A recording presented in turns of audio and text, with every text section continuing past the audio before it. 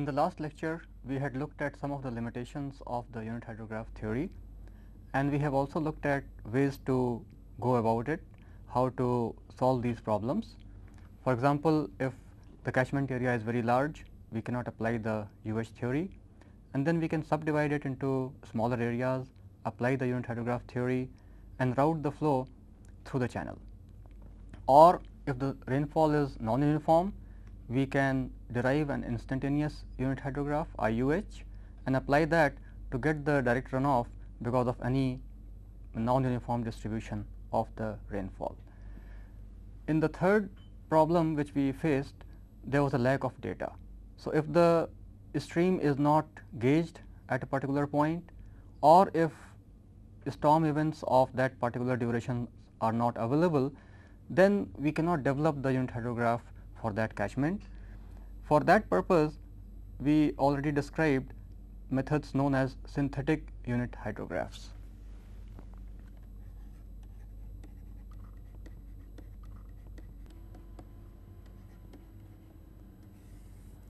which correlate some of the hydrograph properties to some of the basin properties. And since the basin properties can be easily obtained, we can obtain the synthetic unit hydrograph for that area using some relationships which are mostly empirical based on observations of existing uh, gauged catchments.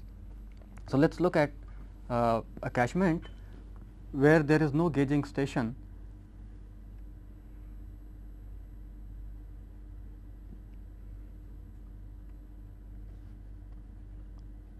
So, the point A is not gauged and therefore, we do not have any data about the runoff due to corresponding storm event. In absence of this data, we can try to correlate some of the features of the hydrograph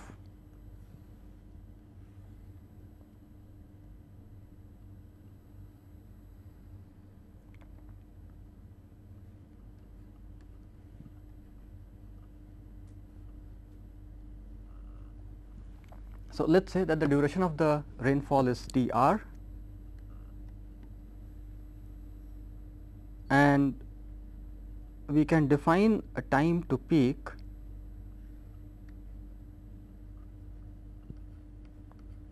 from the centroid of the rainfall as T p. Based on a lot of data about existing gauged catchments in the eastern United States, Snyder in 1938 came up with some relationships which relate the lag T p which is the time from the centroid of the rainfall to the peak with catchment properties. So, some basin properties can be used to obtain T p. What Snyder did was the basin properties he described in terms of two main variables length of the basin this is from the point A the outlet point to the water divide along the stream. So, this length is uh, not a straight line distance between two points it is along the stream a curving length L. The other parameter which he chose was based on the centroid of the area. So, if this point C is the centroid of the catchment area, then the point directly opposite the centroid on the stream, let us call this point C prime. The distance of C prime from A again along the stream was termed as length to the centroid and we would write it as L C.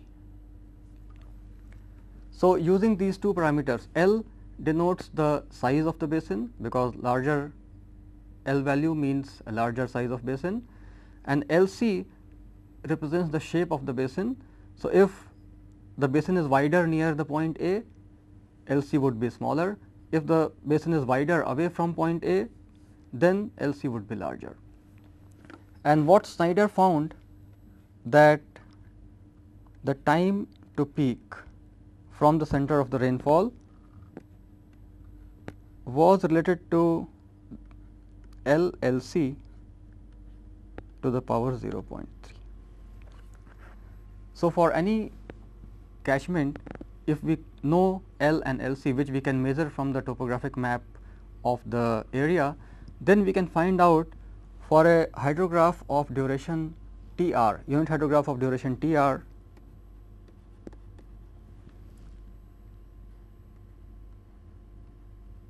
which was related with the time to peak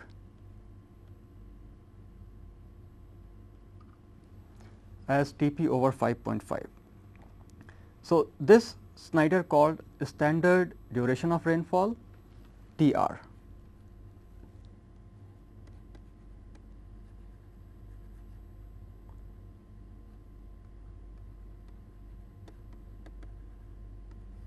and for this T r the time to peak will be given by this equation.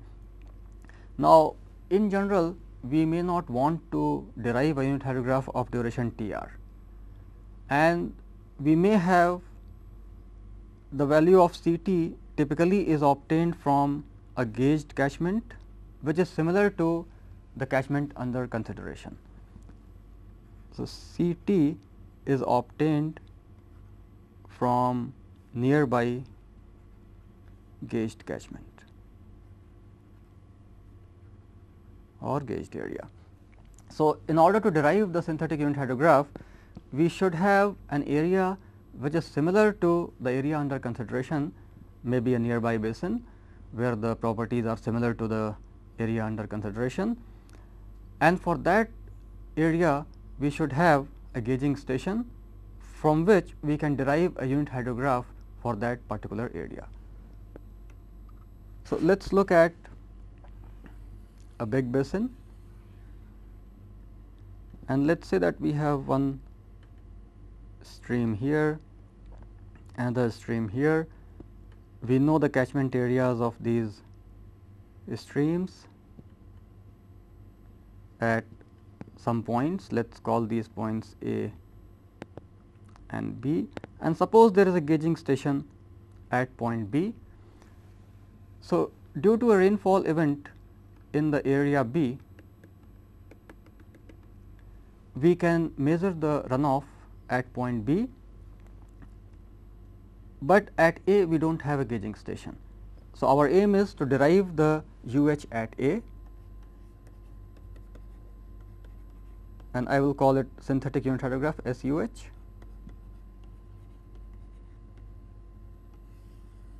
and this SUH may have a duration which is not equal to the standard duration T r, it may have some other duration, uh, let us call it T capital R, the required duration. So, this capital R stands for required duration. Now, the data available at B again the uh, rainfall event for this catchment area may not be of standard duration T r. So, let us say that at B we denote the properties by variables which have a star. So, the area of catchment B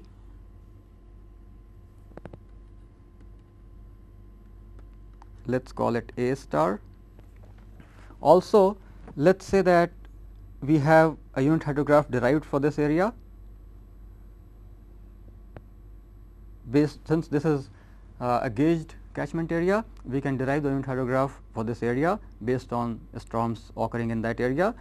And suppose we have derived the UH for a rainfall duration T star and the time to peak for this UH is T p star. Now, this T uh, T r star is the duration of rainfall for this unit hydrograph which has a time to peak of T p star. Now, based on these data what we now want is to obtain the coefficient C t. What Snyder said that if there is any other duration let us say T r star which is not equal to T r the standard duration, then the time to peak will also have to be shifted. So, if for a standard duration there is some time to peak and if there is another rainfall which is not of standard duration let us say this is longer than a standard duration then the peak will shift to the right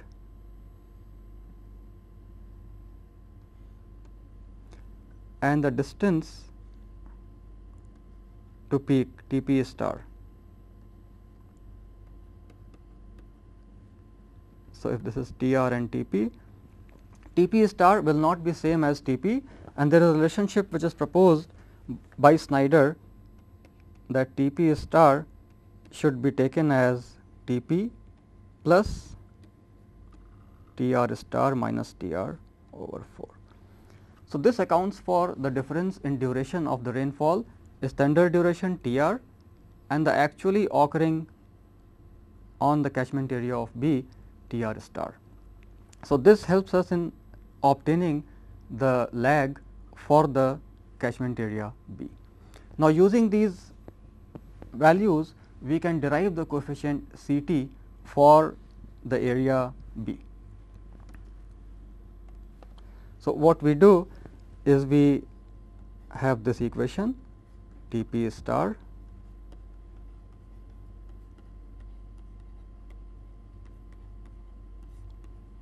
and we also have the standard equation which says that T p is equal to 5.5 T r as proposed by Snyder. So, using these equations we can correlate the standard time to peak with the observed values of time to peak and rainfall duration as T p equal to 22 by 21 T p star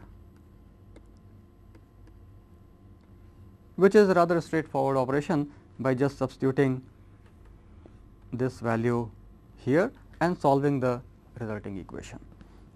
So, using this information T p star and T r star these are known because the catchment is gauged and therefore, we have unit hydrograph for duration T r star and we also have the time to peak in terms of T p star. So, we can find out T p and then since we know the relation of Snyder T p is equal to C t and since this is on the catchment area B I will put a star to the power 0.3. So, using this relationship we can obtain C t because once T p is known from here L star and L c star from the basin we already know this information because we have the data available for the gauged basin. Therefore, we can get C t from here. So, using this C t then we can obtain uh, for we can assume that this same C t for B this is C t value for catchment B. But since we have assumed that both the catchments A and B are similar we can say that the same value of C t can be used for A also. So, may be used for A. So, that takes care of one of the coefficients C t. Now, to find out the peak discharge Snyder found another relationship and he says that Q p will be given by some other constant C p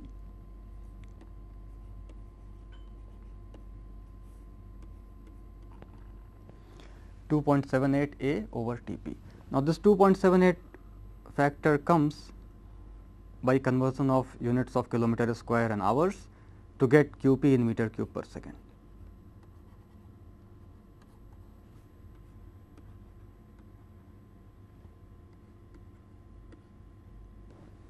So, we take T p in hours, A in kilometer square, Q p in meter cube per second and this C p again can be obtained from the data on the gauged catchment. So, let us uh, we know the value of QP star, we have the value of A star and we also have the value of TP. So, we can write Cp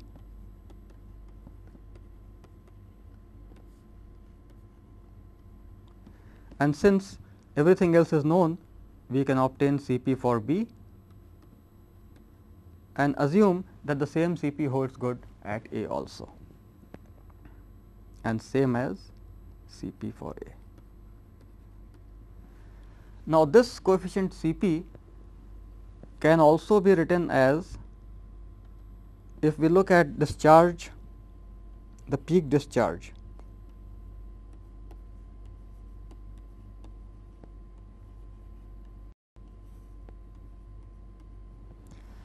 the peak discharge due to a rainfall of duration T r which just says that intensity should be 1 over T r because we are talking about unit hydrograph and A p is the area which is contributing to the peak flow.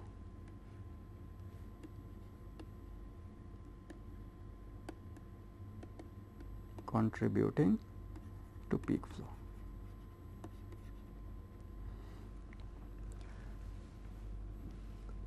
If we want to write this in terms of Snyder's equation which is q p equal to C p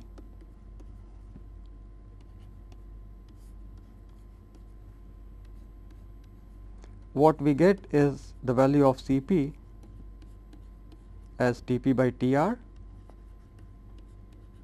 into A p by A. T p by T r as per Snyder is equal to 5.5 a p by A will generally vary from catchment to catchment and therefore, the value of C p also varies depending on the value of A p over A and it has been found to vary from about 0.4 to 0.8.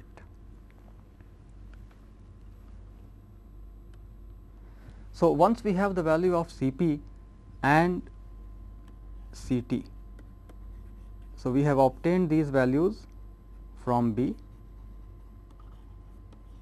and now we can use these values at A to derive a unit hydrograph for any desired duration T r. So, at A we want to derive a UH for duration T r capital R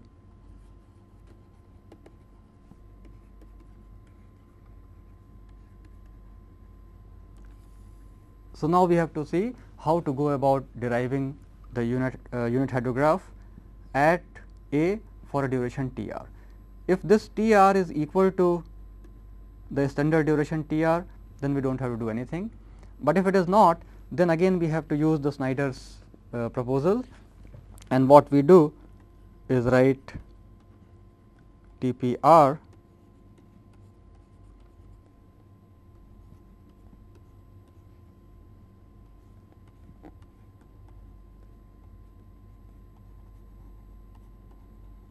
where this term is nothing but T p and then we can write Q p for the required duration T r as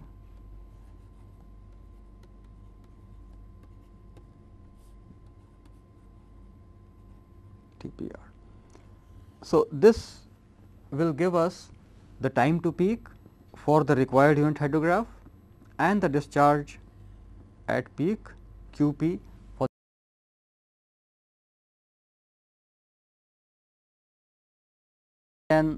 draw the unit hydrograph, but it will not be very accurate what we have is only two points. This is q p T r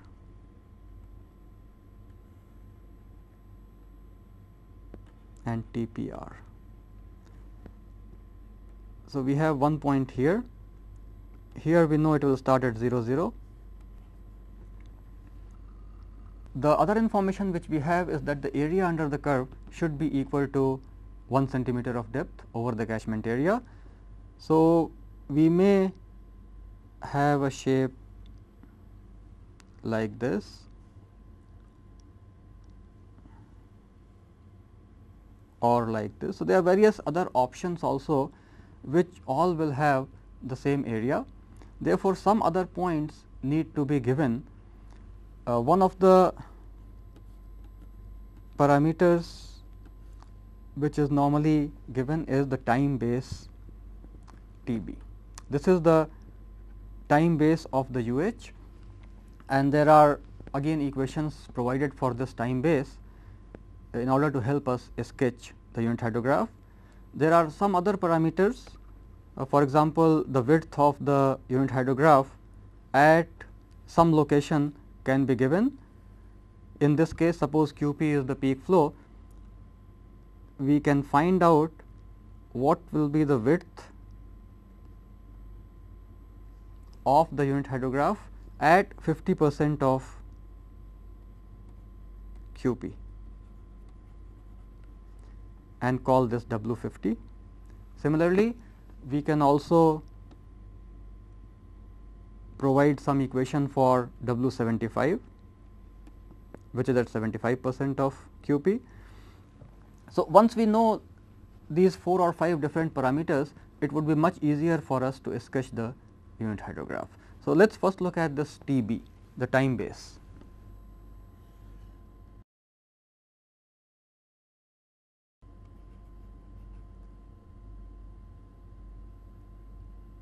What we do is we assume that the unit hydrograph can be approximated by a triangle.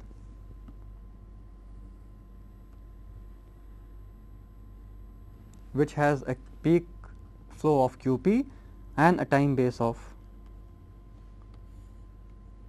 TB. Once we assume it to be a triangle, it is very easy to find out the area under the curve, which knowing that q is in meter cube per second and t is in hours can be written as the volume can be written as half q p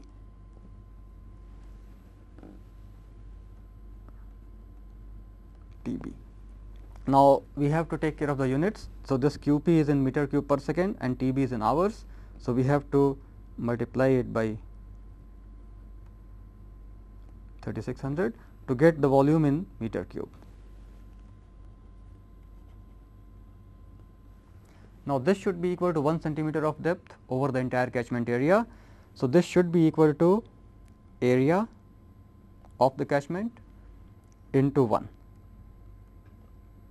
And now, to take care of the units A is in typically kilometer square. So, we have a million and this one is centimeters. So, it would be 0.01 in terms of meters and equating these two we can obtain an equation for T b in terms of the peak flow and the area and the equation is given as 5.56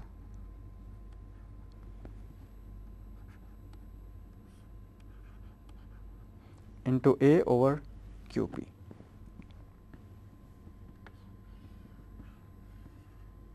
Now, if the rainfall is not of a standard duration, for required duration we will add a subscript r here to show that this is the QP for the required duration of rainfall. Once we know TB, then we have uh, three points fixed, one is the peak, one is this 0 0 and one is this TB. For W 75 and W 50, uh, there are some equations proposed again based on available data and the equations which are proposed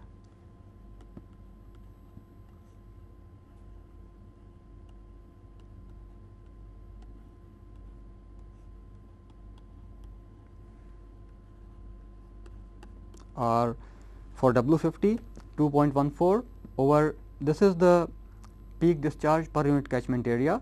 So, QPR over A to the power 1.08 and W 75 which would be smaller than this.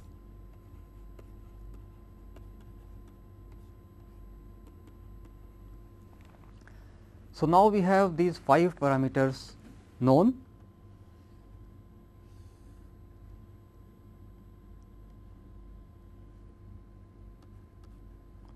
So, we have a point here 0, point here T b, we have Q p r for the required duration of rainfall and we also know T p r. So, the peak point is known, the base is known at 50 percent and 75 percent we also know what is the width of the unit hydrograph. There are some suggestions as to how much of this width should be before the peak and how much after the peak. For example, some researchers have suggested one third before peak and two thirds after.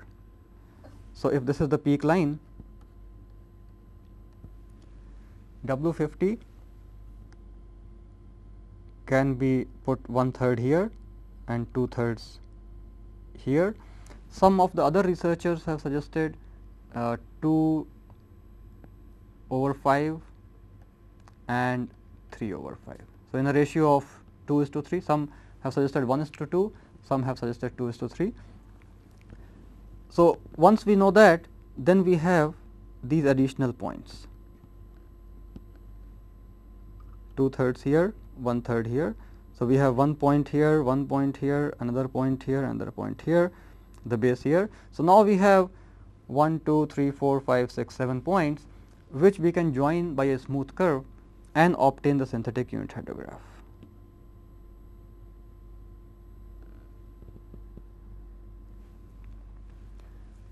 The check will be that the area under this curve should be equal to 1 centimeter of rainfall and if it is not then we will have to adjust uh, some coordinate maybe this T b we will have to shift this side or this side.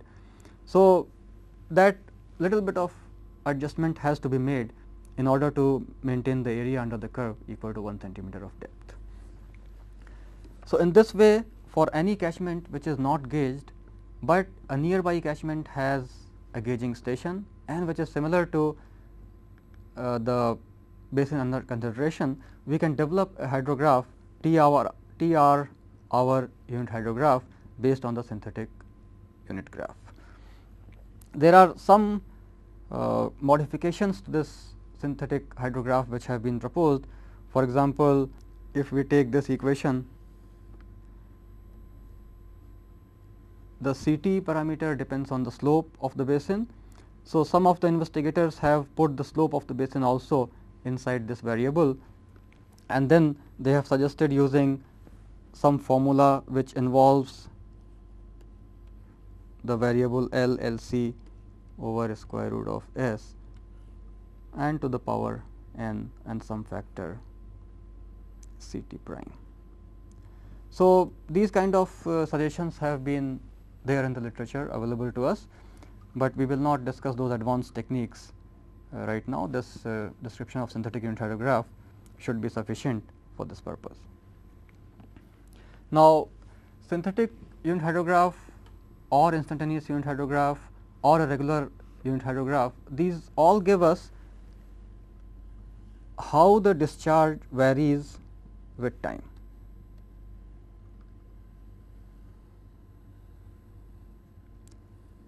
Based on these UH, we can derive the DRH for example, if we know the intensity of rain is one and a half, uh, the depth of rain is one and a half centimeters, we can derive a DRH which will have everywhere ordinates equal to one and a half times the UH ordinate. And once we get the DRH, we can add the base flow and get the total runoff hydrograph, which would look like this. Our aim of developing this total runoff hydrograph is to be able to answer questions like what is the maximum flow in the stream, what is the minimum flow in the stream, what will be the total amount of water which passes the stream? For a fixed period of time or there could be lot of other questions like uh, one question which typically people ask is uh, what is the reliability of a certain discharge.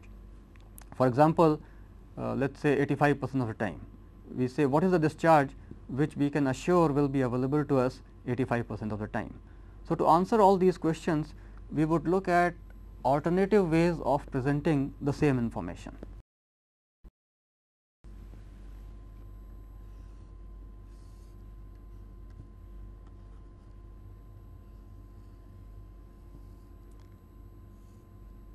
So, let us choose a time period it may be 2 or 3 days, it may be a week, it may be a month, but let us say that the hydrograph during that time period is given by this total runoff hydrograph.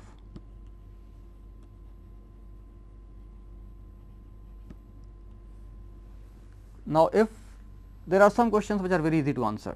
For example, if somebody asks what is the minimum flow in the stream, we can say that this is the minimum flow. Then if you are designing for a flood control structure, you may have to answer a question what is the maximum flow in the stream that is also very easy to answer q max. Now, somebody might ask what is the average flow over this time period uh, let us call it t naught. So, over this time period of t naught what is the average flow in the stream or what is the total volume of water which has passed the stream at that location A in this time t naught.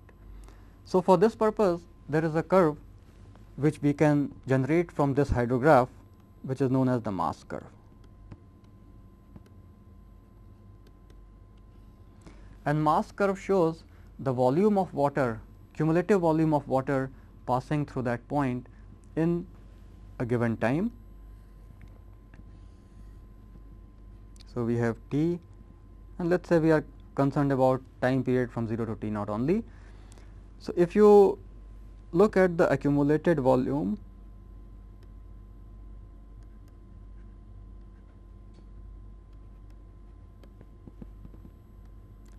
let us say in meter cube time may be in hours it may be in days or months but let us for simplicity use a single storm hydrograph and see how we can develop these curves. So, at time t equal to 0, the cumulative volume will be 0 and then as water starts coming in the river,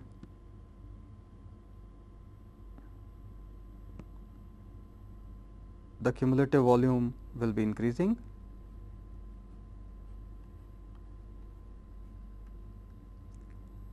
It will be increasing at a fast rate till the peak and then the rate of increase will become slower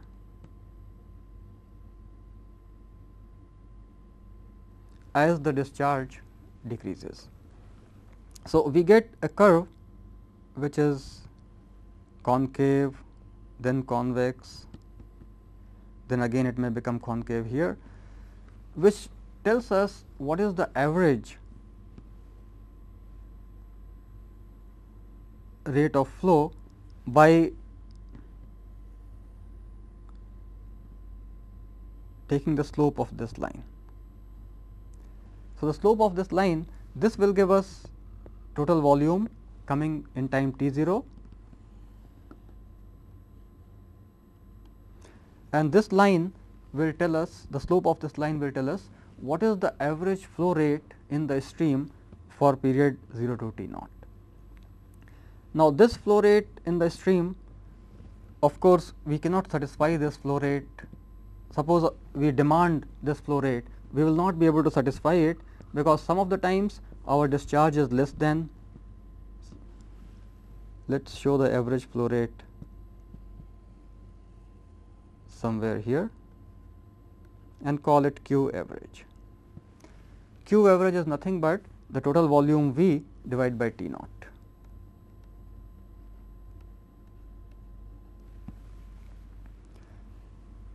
This is the average flow rate if we consider the entire period 0 to T 0, but as you can see here in this portion the supply in the river is less than Q average, the rate at which water is coming in is less than Q average. In this portion it is more and then again it would be smaller than Q average. So, we will not be able to supply water at this rate at the outlet point. If somebody wants to guarantee a certain rate of supply that would be Q minimum. We cannot supply anything more than that because if you supply a little more than that during some period of time you will not be able to satisfy the demand. The way to supply this demand is to create a storage facility. So, we will look at that in a little while. The other question which we were asking is about how much percentage of time we would be able to satisfy certain requirement. For example, we may say what is the flow rate, what is the Q which can be guaranteed let us say for 50 percent of time. So, if we look at what is the Q which can be guaranteed at 50 percent of the time means for a period of T naught by 2 the Q should be more than that guaranteed Q and for that we must draw a line somewhere here which will have a width of T naught by 2. So, in this T naught by 2 time our flow will always be more than Q let us call it Q 50.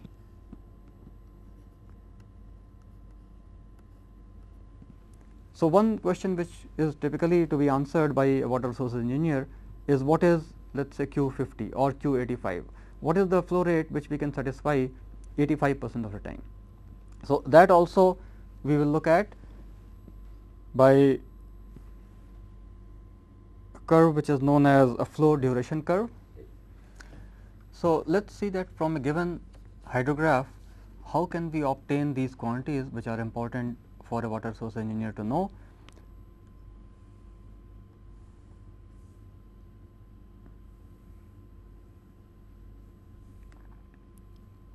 So, we have a minimum flow Q min, maximum flow Q max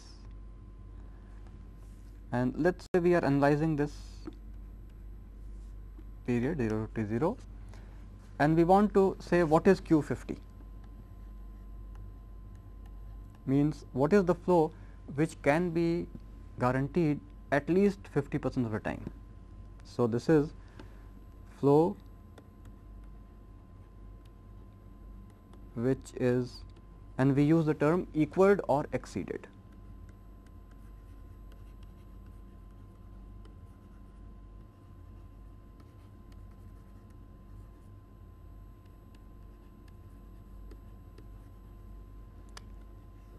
So, at least this amount of flow Q 50 would be available to us 50 percent of the time.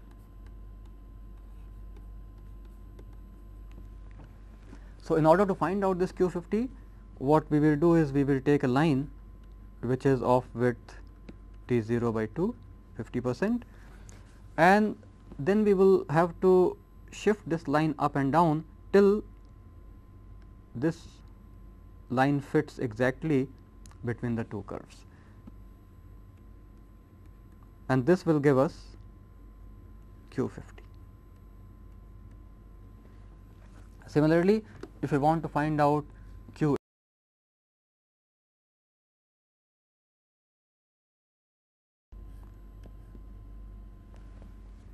then we must see what is the flow which is equal or exceeded 85 percent of the time so, that means only 15 percent of the time the flow would be below that.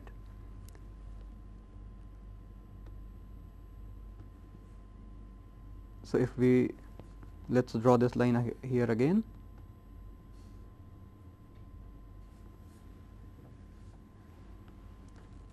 So, this will be 0.85 T 0 and again we fit that line which will be 0.85 T 0. So, this flow would be equal or exceeded 85 percent of the time. So, this is an important parameter sometimes when we are creating a facility for power generation uh, typically we take this 85 percent dependable discharge as our design discharge.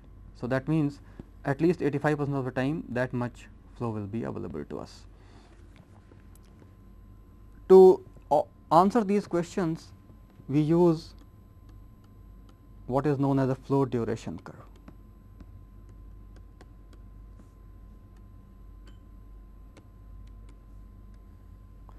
which plots this percent against q.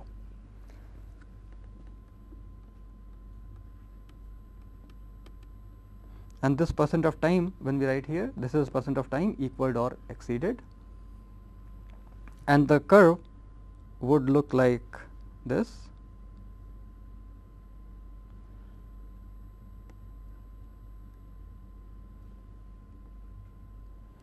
So, there is some minimum flow which will be equal or exceeded 100 percent of the time q min. There will be some maximum flow which will not be exceeded. So, it will have a 0 probability of or 0 percent of the time equal or exceeded and then from this curve we can answer all the questions like what is 50 percent q 50 what is q 85 and so on. Now, the flow duration curve and the mass curve they are both very critical in water sources or let us say power generation design we would first look at the mass curve to find out how much storage we would require in order to satisfy a given demand.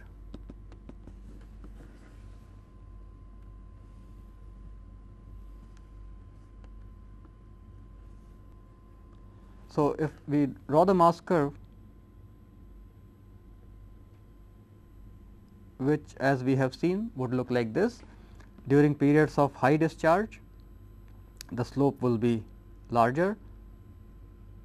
Then as the discharge reduces, the slope becomes flatter and then if another storm comes, it will go up.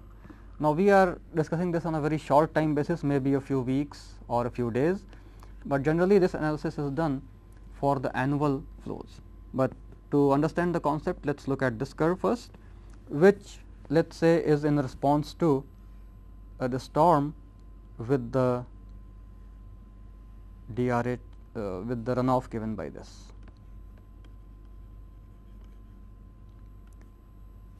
So, this runoff will produce this mass curve where V is the cumulative volume.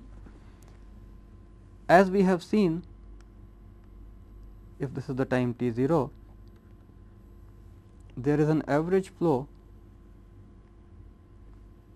which can be thought to occur during this time t naught. And we cannot supply this average flow as we have discussed, because some of the time the flow in the river is not sufficient and it will not be able to meet the demand. If we want to meet this demand,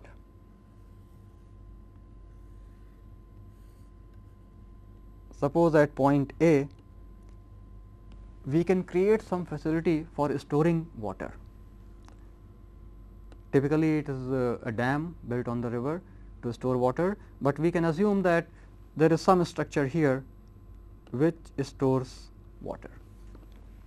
Now, during periods of low flows, when the flow is less than the demand, we can get water from the storage to supply the demand or to supply the requirement which exists suppose at this continuous rate. Of course, we cannot supply water more than this rate. Our Q supply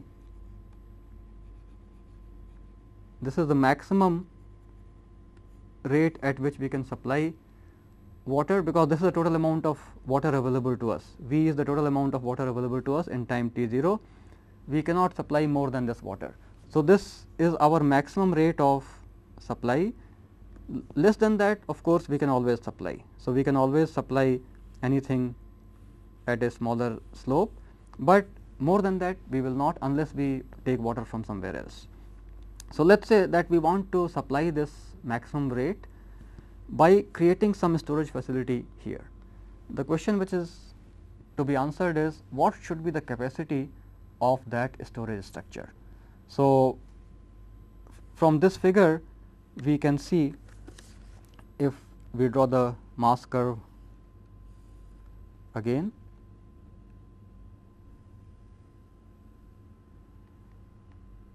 like this.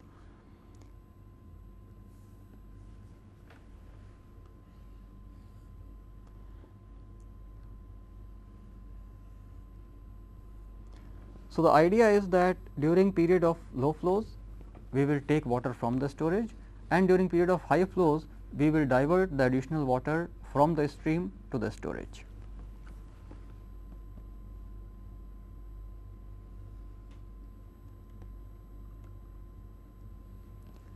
So, if you look at this figure of the runoff during this time our supply is less than the demand and therefore, we must take water from the storage. During this period water will be going from the stream to the storage after satisfying the demand and again during this period up to T naught water will be taken from the storage to satisfy the demand. In order to find out this capacity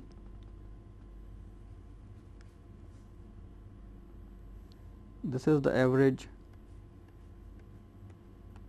flow rate. What we do is we draw lines parallel to this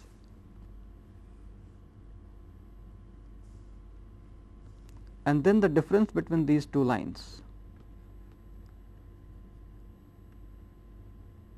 is the required storage. These lines are drawn at the ridge and the valley. So, the highest portion and the lowest portion of, the mass curve which is the volume versus time, the difference will be the required storage. So, this S is the required storage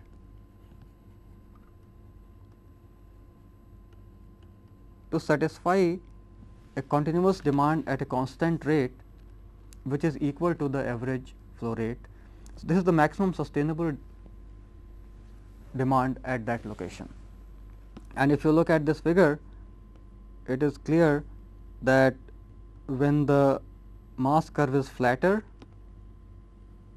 that means we are getting water at a smaller rate and therefore, water has to come from the storage into the stream to satisfy the demand.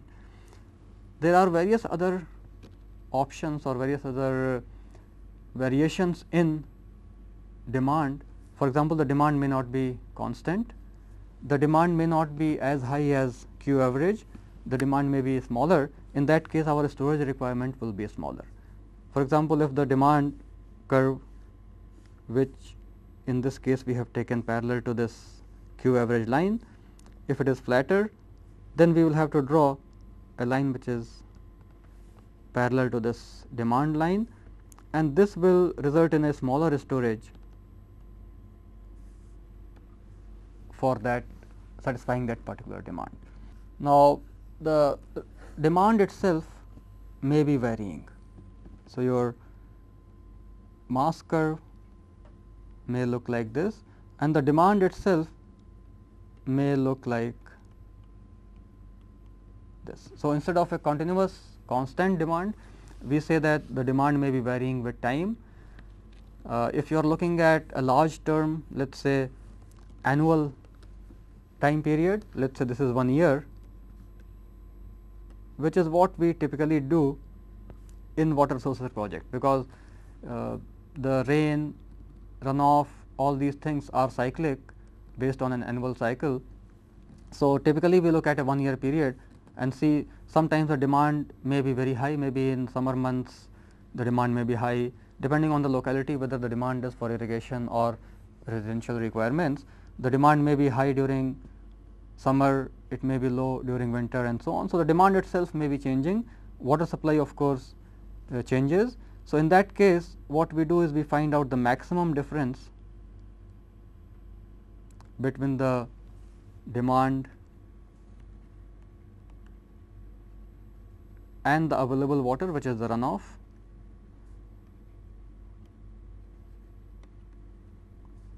cumulative runoff volume. So, the maximum difference between these two ordinates will give us the required storage capacity.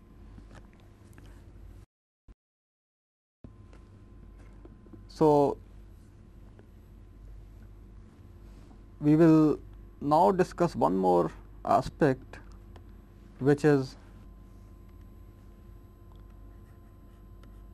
yield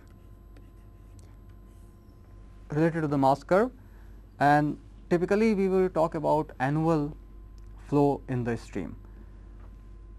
As we have said uh, looking at short term week or days is also possible, but generally when we say yield it would be annual yield of the stream. So, if you look at the hydrograph of the stream uh, typically this time will now be January, February, March and so on. The hydrograph may look like this small discharge here then in monsoon months it will go up and then again in winter months it may come down. There may be smaller uh, peaks here valleys in response to individual storms, but in general the hydrograph will look like this and yield would mean what is the amount of water available in the stream over the period of a year. So, this would be uh, cumulative volume typically over the year. So, yield is an important concept because it tells us how much water is available to us over the period of the year. Hydrograph will give us what is the maximum flood in the river. So, we can use that to design flood control works we also have this minimum flow here and as we have discussed earlier there are three different kinds of streams. Uh, we have perennial,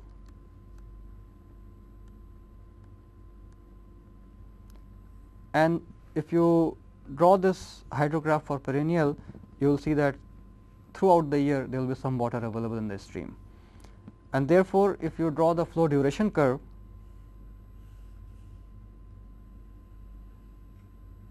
the 100 percent will correspond to some finite non-zero value of q. But if you have an intermittent or ephemeral stream then the flow duration curve would look like this where 100 percent may be here and this may be 70 or 80 percent. So, this means that 20 percent of the time there will be no flow in the stream. So, this is also an important aspect which has to be taken in consideration when we are designing a project that 20 percent of the time there will be no flow in the stream. So, if we are generating power there will be no power available during this time. So, we will finish here and in summary in today's lecture what we have discussed is how to develop hydrograph for ungauged basins using synthetic unit hydrographs, how to develop mass curves and flow duration curves which help us in analyzing the flow in a river in terms of what is the dependability of various discharges, what is the storage required in order to satisfy some demand and what is the maximum demand which we can meet based on the given flow pattern.